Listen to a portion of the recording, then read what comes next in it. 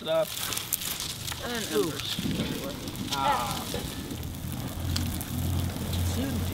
Holy smokes! So tonight, our youth group and confirmation class came together and um, they took the palms that we've been collecting for the last few weeks and we burned them to make ashes for Ash Wednesday. Because part of my responsibility is youth ministry, um, and it's a great, because it's such a great learning experience for them, it makes sense to do it with the kids.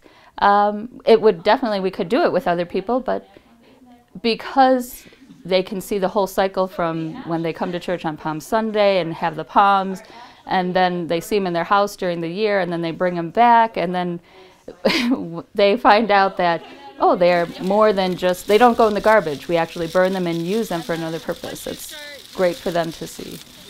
We we know that they're holy items, and so we don't throw them away. Um, you can either bury them or you can burn them and so we have a we have actually two containers that we use and um, once the palms get started burning then um, then they catch quite readily and can be terrifying at moments but um, the, the, it works just fine. And uh, then we just let them cool down and once they're all cool um, we'll sift them so that any big p- pieces of palms are sifted out. And then we have things that can just be easily used for um, Ash Wednesday, and um, and that it it works great.